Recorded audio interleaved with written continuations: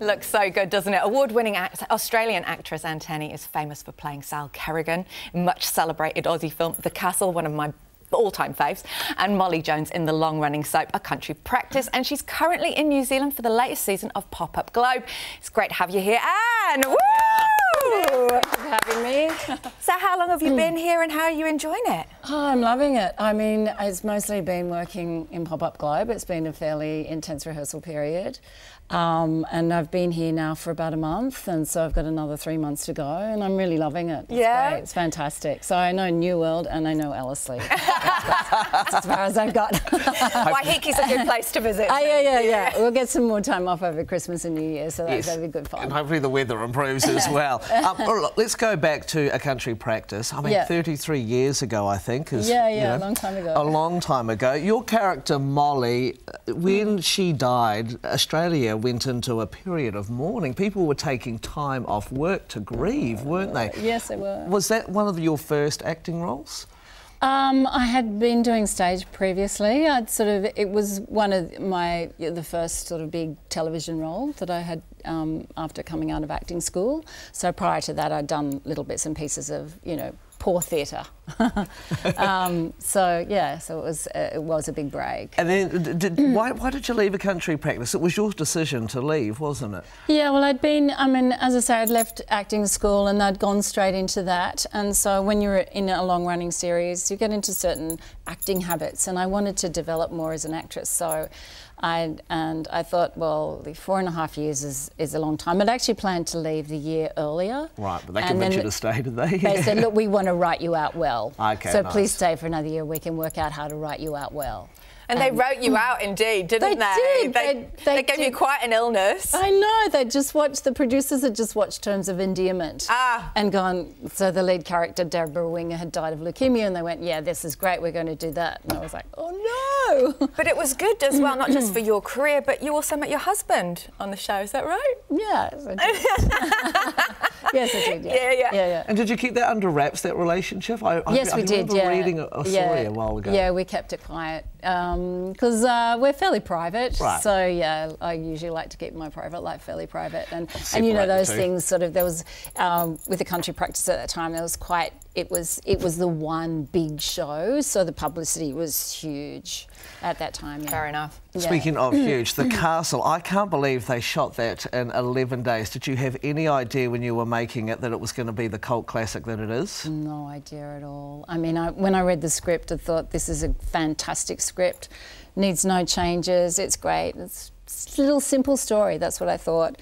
And then when we watched it in front with an audience for the first time, the reaction was just astounding. Like, I just had no idea that it was going to be the hit that it that it came to be. Well, you got things like spon uh, sponge cake now, um, and jousting sticks. Yeah, and straight uh, to the pool sticks. room. Yeah, yeah, you know, yeah. all of these classic sayings that have just lived on in Australian, New Zealand, and in fact, world history. Well, I well. was I was in the UK, and right. it was a massive fave amongst me and my friends to mm. just, you know, you just put it on and just laugh out loud. Did you think when you read the script, yeah, it's funny, but what did you think? Did you think it was ever going to be that big, and why was it that successful? I think. Um, I, I, mean, I did not think it was going to be that big. I, as I say, I thought, thought it was going to be just a little film, and I laughed. I thought it was great. This is fantastic comedy, and it's got a lot of heart. And I think that's what the, why it's so popular because people could identify with the characters, and it's also got a lot of visual humour in it as well. And the jokes are really good. Um, and the, I just the serenity. the serenity, yeah. also, am I touching my mic? I, I haven't got a mic on actually. No. Um, yeah, so people just really. Oh, they just really loved the mm. characters, and the characters were based on family members of the writers. So this is, this is my dad. We've based this on like sort of a conglomeration of our dads. Yeah. And I think that's uh, what it was for me. It's like it, it's, it's hilarious, but it, there's a lot of love there in the family, yeah, and you're just yeah. like you're in love with all the characters. Yeah. Um, something I did want to ask you about that though. What was your favourite scene? I really loved the visual image of the trolley coming from the airport and then walking along the street with the trolley, and, right. like taking it all the way home. I just love that image. Yeah. So Well, there's so we- many good scenes in it. We Yeah. did fall in love with that, and you know, you've had some fantastic projects over the years, and now here you are at the Pop Up Globe. Yes. How exciting is it to be part of this institution? Oh, really? Oh, oh, look, it is one of the most exciting things that's happened for me in, in some time. It's just fantastic. I can't quite believe that I'm on that wonderful stage. Well, what draws with- actors and actresses of your calibre to want to be part of this? Is it because it's that classic Shakespeare?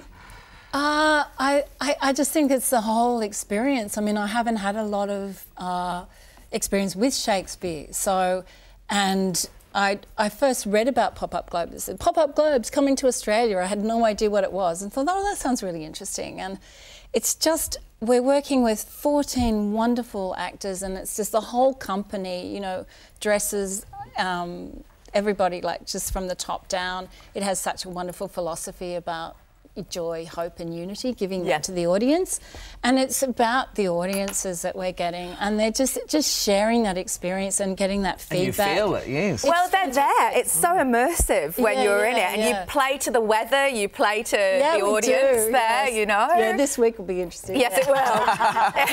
it's going to be raining. Yeah, Yeah, yeah. people are going to get wet, but that's part no, of it, it's isn't it? part of it. They Um, just love it. What yeah. are your roles?